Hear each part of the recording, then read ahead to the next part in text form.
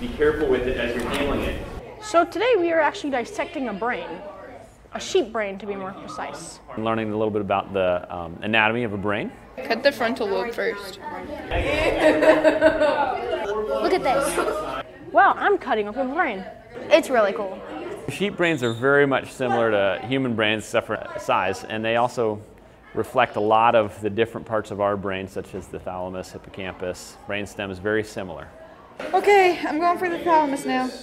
Our left side of our brain controls our right side. We started marking all of the parts of the brain with these little flags. Hands-on is something that we try to do a lot of in this class, and it, it's a lot more about you know them getting the real life experience. That's perfect. You just leave it like that. Wow, I get to actually be kind of like a medical detective. This is a really cool class.